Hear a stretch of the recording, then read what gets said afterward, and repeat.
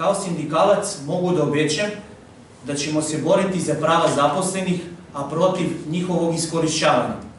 Da svaki zaposlen ima plaćeno bolovanje, topli obrok, minimum 20 dana godišnjeg odmora, 40-očasovnu radnu nedelju.